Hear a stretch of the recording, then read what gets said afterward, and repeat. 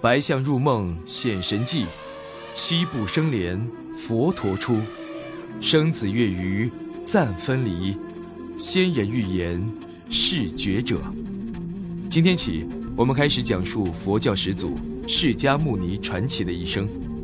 故事便是从这位佛陀的诞生开始。在古印度北部，有一个名叫迦毗罗卫的国家。这个美丽的国家正是佛陀释迦牟尼的故乡。骁勇善战的国王又一次将胜利带回迦毗罗卫。捷报随着乐声一起传遍迦毗罗卫国，全国百姓都听见了这场胜利之音，他们载歌载舞，庆祝着这一大喜事。侍女拉什卡激动地奔向寝殿，告知波提王后这一喜讯。波提王后欣喜不已，立刻前去寻找自己的姐姐摩耶王后。她刚到花园，便看见姐姐陪着提婆达多玩耍。提婆达多是净饭王的弟弟胡饭王的孩子，姐姐再次陷入幻想，将提婆达多误以为是自己的孩子。看到这一幕，波提难过的流下眼泪。摩耶王后是净饭王明媒正娶的妻子，可惜多年无所出。为了让国王能拥有一个子嗣。摩耶王后将自己的妹妹波提嫁给了国王，但厄运一直缠绕着三人，他们仍无法让王位拥有继承人，孩子几乎成了三个人的心病。唯有在聪明伶俐的提婆达多陪伴下，他们心中的痛楚才能稍作缓解。但国王和王后并不知道，胡饭王的妻子祥光野心勃勃地策划谋夺王位。面对国王和王后日日爱抚自己的儿子。他一面嫉妒和厌恨的快要发狂，一面又狠毒的诅咒王后永远也生不出孩子，这样，他的儿子就会成为王储，她和丈夫也将顺理成章的拥有整个王国。无子的阴霾始终缠绕在国王头顶，为了求得子嗣，国王决定请女主大师为自己办一场求子祭，祭典十分顺利。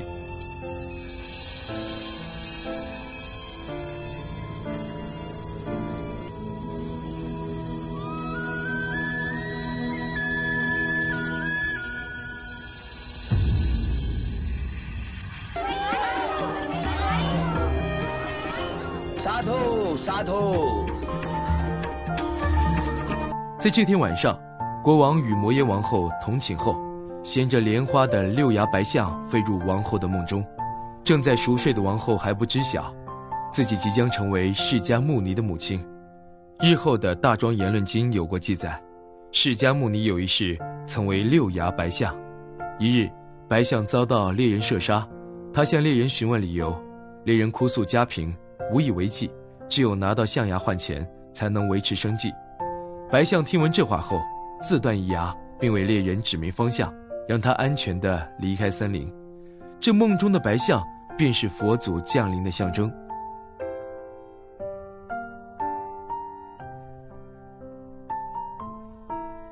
这个吉祥的预兆，在第二天便为王后带来了好消息。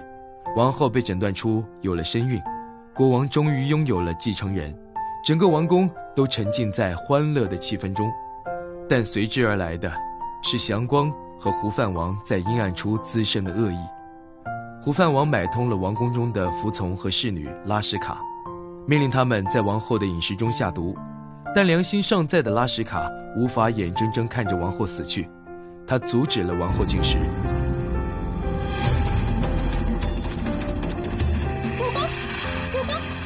并当众指认出自己的情郎便是下毒之人。拉什卡不知买通自己情郎的人正是胡饭王，而胡饭王为了保全自己，在仆从说出自己的名字前便狠下杀手，一场毒杀就这样无疾而终。眼见毒杀不成，祥光再次想出狠毒的办法，他巧言令色地向王后谏言，捏造出孩子若在父亲身边出生，将会给父亲带来灾难的谎言。然而，王后因心系国王。决定立刻启程返回母族，在自己的娘家生下这个孩子。那支奢华的队伍于清晨出发，渐渐远离了国王的视线。此时的王后还不知道，祥光在她必经的神庙前安排了刺客，危险始终跟随着她。此时，一处积雪覆盖的山顶之上，白衣仙人因得知伟大的圣人即将诞生而激动不已。也许是天命所归，圣光笼罩，整个世界都在为释迦牟尼的诞生而让路。王后没有到达神庙，仅仅是途经蓝毗尼园时，腹中的孩子便迫不及待地出生了。小王子刚出生便显露奇相，无人搀扶即能行走，他仿佛知道自己未来的道路，坚定地朝前走了七步，每迈过一步。地上便绽放一朵美丽至极的莲花，清冽的花香和神迹一般的出生，无一不彰显着小王子的与众不同。王后看着自己可爱的儿子，喜极而泣。她摸着孩子柔软的肌肤，爱怜地为他取出世界上最好听的名字——悉达多·乔达摩。消息很快传回王都，国王激动地吹起号角，好叫所有人都知道，自己终于有了一位王储。他期待这个小王子太久了，巨大的欣喜包裹住了他，几乎使他晕厥过去。为了亲眼看看自己渴望已久的儿子，他骑着马奔向王后驻扎之地。隔着一层轻纱，他看见纱帘后熟悉的爱人，以及爱人身侧的小小婴儿。波提王后笑着提醒他，根据婆罗门教典中的规定，他需要在三十日后才可以与妻子和孩子相见，这是因为妻子生下孩子后会变得非常虚弱。而丈夫会渴望与妻子同房，为了避免丈夫打扰妻子休息，也能让母子骨肉相亲，母亲孩子需要与丈夫暂时分开三十日。国王无奈地打破波提王后，直言希望自己至少可以摸一摸小王子。这个不越矩的要求很快得到同意。隔着小帘垂下的薄纱，婴儿小小的手臂伸出，国王轻昵地抚摸着他的手腕，因为高贵的刹帝利种姓族人通过孩子的手腕来做判断。这将决定孩子日后是否强健有力，是否能搭建弯弓。毫无疑问，这个孩子是天生的勇者和战士。但这个小王子的出生，并不都是得到祝福。祥光夫人和胡范王的嫉妒之火在熊熊燃烧着，他们的面容因欲望和贪恋而变得扭曲。权力的力量太过巨大，让人无法轻易放弃。阴谋仍将持续下去。摩耶王后返回王都，她安心地和妹妹在床榻上休息。夜晚，她再度做梦，但这次的梦毫无祥瑞之兆。那一团光影在天幕之上俯视着他，慈悲而怜悯地告诉王后，他的使命既已完成，便该离去了。这也是情理之中的事，因他诞下的不是其他普通的孩子，而是日后佛教始祖释迦牟尼。这样巨大的福德压在一介凡人身上，凡人是无法消受的。这样的福德。往往需要付出对等的代价，譬如生命。王后自梦中惊醒，便心知寿命无几。她唯一的心愿便是为小王子举办盛大的取名仪式，并尽可能的为他安排好一切。这场取名仪式极尽奢华，十分圆满。作为一位母亲，她已经做了自己所能做的一切。仪式上，国王询问女主大师关于小王子日后的命运。女主大师指出。小王子的星象超凡绝伦，他将成为出色的战士，勇猛、威武，战无不胜。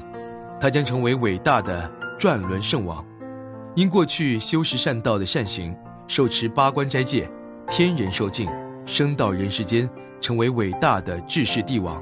对此，佛经称之为转轮圣王。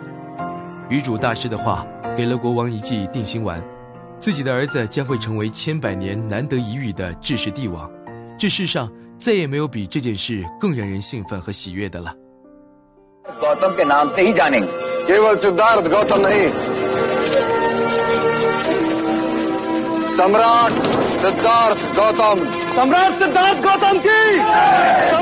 福兮祸所依，祸兮福所倚。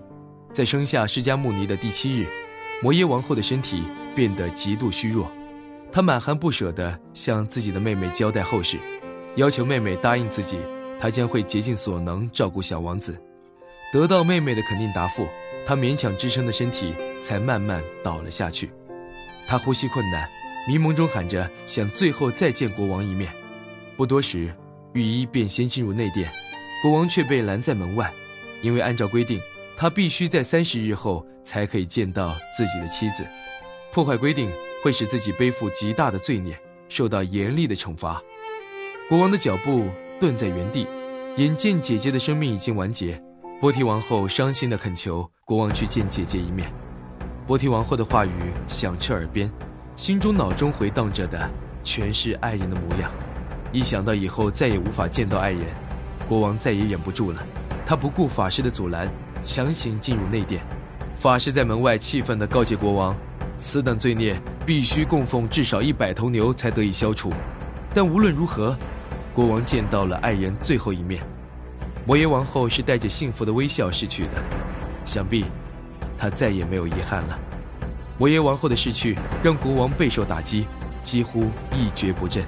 他一度不肯再看小王子一眼，可又因思念摩耶王后。而将目光投向那眉眼和王后十分相似的小王子脸上，直到此时，他终于记起自己的责任，那便是好好教导小王子，这位王都日后的勇士，最伟大的帝王。就在这时，人人敬仰的阿斯陀仙人竟从雪山来至此处，特意拜访国王。阿斯陀仙人曾经是释迦王族的国师，后来他常年在喜马拉雅山冥想，避世不出。阿斯陀仙人的驾临，让国王急忙离开大殿，亲自相迎。但仙人却说，他是为瞻仰一位非凡之人而来。那个非凡之人，便是国王的儿子。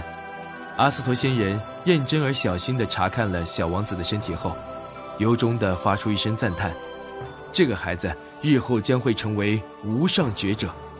此话一出，满殿哗然。国王怎么会忍受自己的孩子会成为苦行者？他愤怒地打断仙人，认定自己的孩子将会如愚主大师所言，经历无数场战斗，成为最伟大的战士。然而，阿斯陀大师微笑地看着国王，缓缓说出这样的话：“他当然会百战百胜，他会赢得生命中的每一场战斗，但那将是他自身情感的斗争。他将统治的宇宙是众生心灵的宇宙。王子虽为刹帝利，但命中注定将修苦行。”小王子拥有三十二足相，据此相者，在家则为转轮圣王，出家便是无上觉者。国王仍然无法相信，他再次打断仙人，坚持自己的孩子将开疆拓土，征服更多的人和领地。仙人淡然解释说道：“宝剑征服疆土，而他将征服人心；战争能重绘版图，而他将改变时代。”国王与仙人激烈对峙，而他们中间的小小婴儿成为漩涡的中心。没有人相信天生富贵的小王子会成为苦行者，唯有仙人坚定地相信，他将成为无上觉者，一步步走向宇宙中心，引领更多人走向觉醒的道路。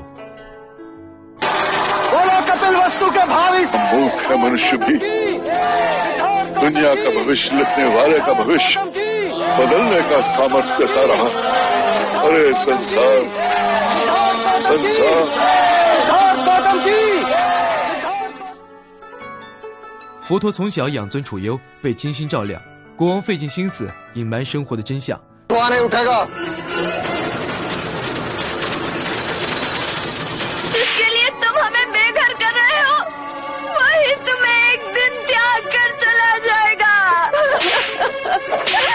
佛陀天生便拥有无上的智慧和慈悲之心，看小王子如何完美识破撒谎者，公平定断欠债案件，被堂兄恶意重伤陷害时，又是如何应对的。